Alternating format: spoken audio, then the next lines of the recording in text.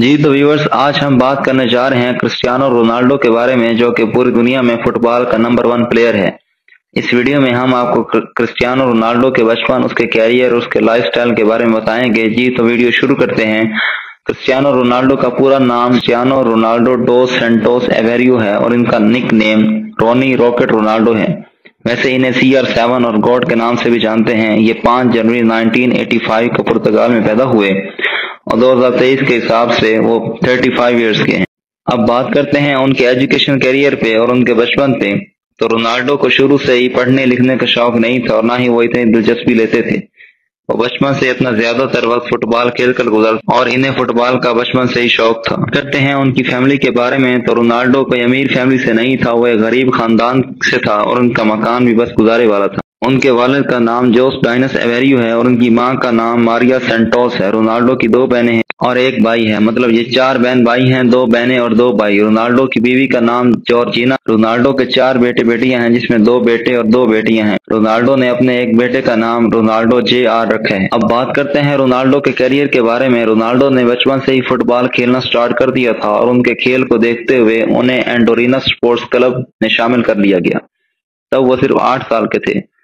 इसके बाद दो साल बाद रोनाल्डो को शहर के सबसे बड़े नेशनल फुटबॉल क्लब में शामिल कर लिया गया। इस क्लब के लिए वो दो साल तक खेलते रहे। वो 12 साल की उम्र में पुर्तगाल स्पोर्टिंग क्लब में ट्रायल के लिए गए और यहाँ उसके खेल और पैशन को देखकर उन्हें 1500 पाउंड में साइन कर लिया गया। अब यहाँ उन्होंने जी जान लगाकर खेला। वो अपने खेल के फन में माहिर और इसी दौरान जब उनकी उम्र पंद्रह साल हुई तो इन्हें डॉक्टरों ने कहा कि तुम्हारे पास दो रास्ते हैं। या, या तो तुम अपनी हार्ट सर्जरी करवा लो या फिर फुटबॉल ना खेलो। तो रोनाल्डो ने जब ये सुना तो उन्हें लगा कि अगर वो फुटबॉल ना भी खेलें तो वो मर जाएँगे। उन्होंने अपनी हार्ट सर्जरी करा ली। उनकी किस्मत अच्छी थी कि वो इतनी पेचीदा हार्ट सर्जरी में कामयाब हो गए। और शायद किस्मत को भी यही मंजूर था कि रोनाल्डो को दुनिया का सबसे बड़ा फुटबॉलर बनाना था। करने के बाद वो दोबारा से फुटबॉल खेलना शुरू हो गया इस बार वो पहले से ज़्यादा एनर्जी दिखा रहे। उन्होंने अपना पहला मैच सत्रह साल की उम्र में पुर्तगाल स्पोर्टिंग लिस्टिंग क्लब से खेला। इस मैच में एलेक्स फ्रंक्सन ने रोनाल्डो के खेल को देखते हुए मैनचेस्टर यूनाइटेड क्लब में साइन कर लिया।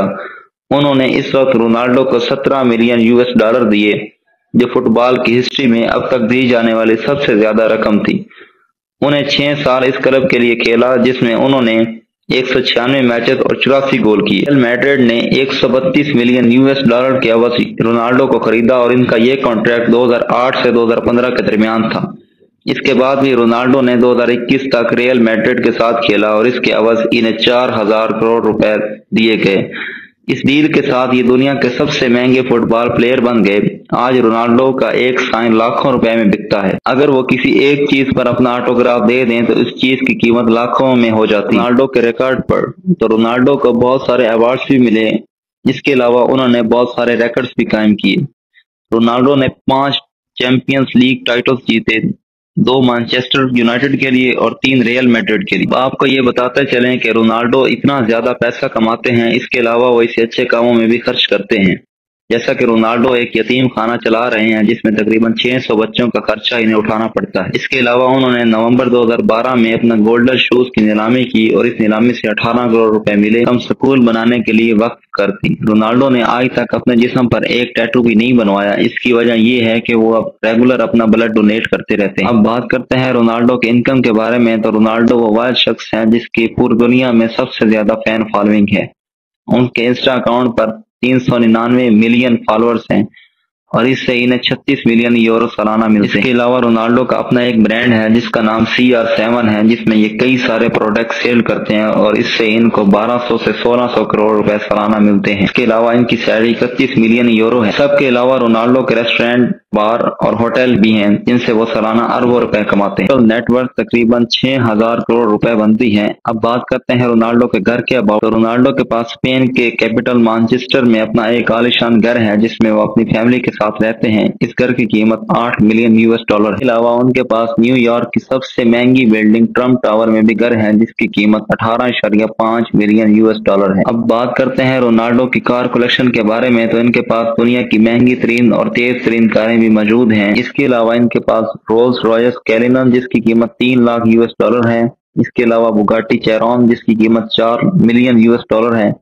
इसके अलावा मर्सिडीज 63 एस कैप जिसकी कीमत दो लाख यूएस डॉलर है। इसके बाद बुगाटी वेरॉन जिसकी कीमत दो मिलियन यूएस डॉलर है। इसके अलावा रोल्स रॉयस फैंटम जिसकी कीमत पाँच लाख यूएस डॉलर है। इसके अलावा लेमरगिनी एवेंटाडोर जिसकी कीमत तीन मिलियन यूएस डॉलर है। इसके अलावा भी बहुत सारी कार कलेक्शन रोनाल्डो के पास मौजूद है। इसके अलावा इनका अपना एक प्राइवेट जेट भी मौजूद जिसका नाम Gulfstream S six fifty है। इसमें एक प्राइवेट बेडरूम और एक आलिशान बाथरूम भी है। रोनाल्डो इसी में सफ़र करते हैं। इसकी कीमत 50 मिलियन यूरो है। जी तो व्यूवर्स अगर आप रोनाल्डो के फ़ैन हैं तो हमारी ये वीडियो लाइक कर दें और हमारे चैनल को सब्सक्राइब कर दें।